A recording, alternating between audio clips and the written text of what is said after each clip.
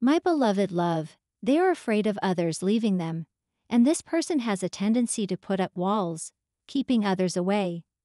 But it doesn't mean that this person doesn't have warm love and tender care for you in their heart, because they do.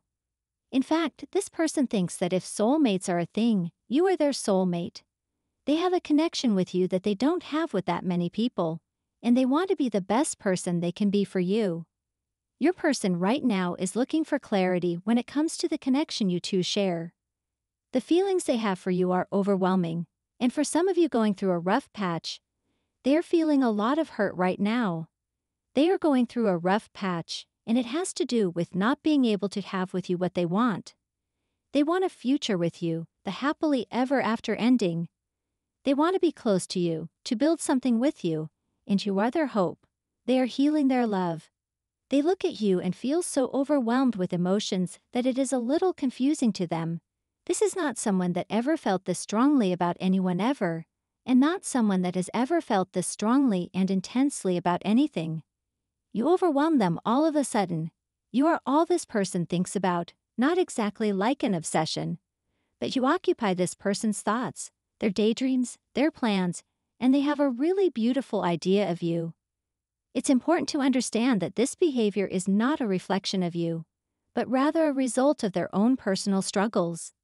In terms of your future together, the card suggests that forgiveness is key. If you are willing to give this person another chance, there is potential for a deeper connection between you. However, it's important to take things slow and make sure that this person is sincere in their apologies and actions. The card shows that there is a heavy burden on the divine masculine. He is currently in a karmic relationship that is causing him a great deal of pain and turmoil.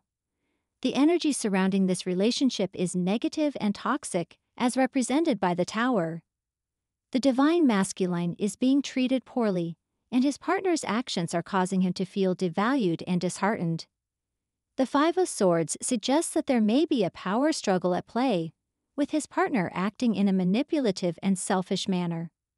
The divine masculine's current circumstances are likely a result of past actions and choices, as indicated by the Justice card. However, the universe is calling for balance and fairness to be restored and the divine masculine is being asked to take action and set boundaries. The Hierophant suggests that there is potential for healing and growth in this situation, but it will require the divine masculine to prioritize his own needs and well being. By tapping into his own inner strength and wisdom, he can release himself from the karmic cycle and create a brighter future for himself. From Divine Masculine type yes if you believe.